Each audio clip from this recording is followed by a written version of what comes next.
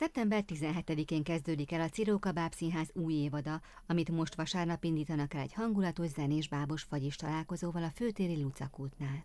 A program 15 órakor kezdődik, amikor a Bábszínház kulisszatitkaiba pillanthatnak be kicsik és nagyok.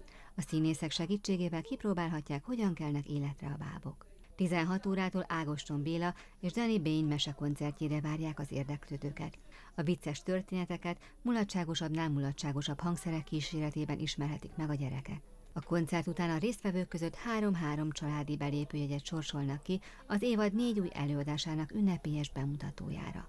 Akik pedig szeptember 10-éig jegyet váltanak az évad első vasárnapi előadására, a kenyérből kelt mesére, vagy jegyet kapnak ajándékba.